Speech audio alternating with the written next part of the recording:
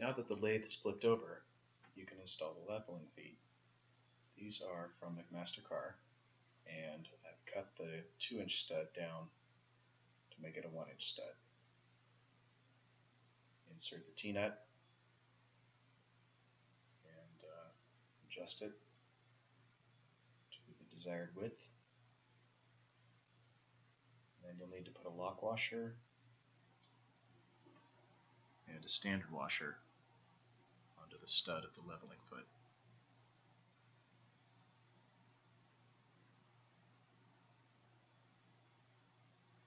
You flip it over, screw it right into the T-nut there.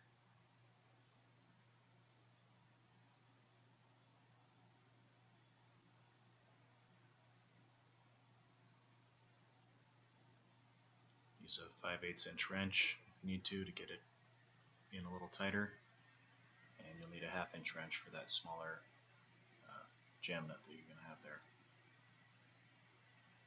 Once everything's tight, finger tight, you can go ahead and lock it down with the wrenches.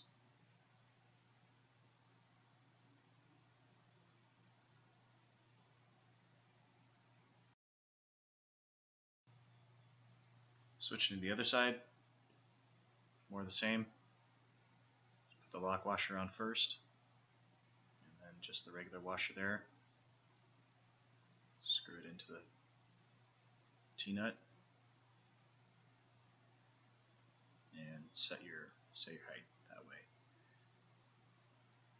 Get out the tape measure uh, to get them close. This is a little bit tricky just because the uh, the leveling foot is kind of self-leveling on a swivel, so you have to use um,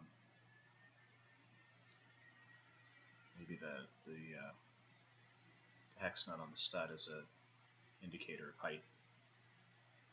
Additionally, when you're tightening it down with the wrenches, uh, there's a little pull, there's a little play in the T-nut as it gets pulled uh, up against uh, the, the 80-20 as it gets tightened up. So you may have to go back and forth a couple times to get the height correct. Then once you flip it over, you'll probably want to do some sort of um, adjustments. Uh, again, that, that also depends on your table. If your table is nice and flat, um, probably be pretty close. But you've got a lot of play in these things, so if you have kind of an uneven surface, that's not a big deal either.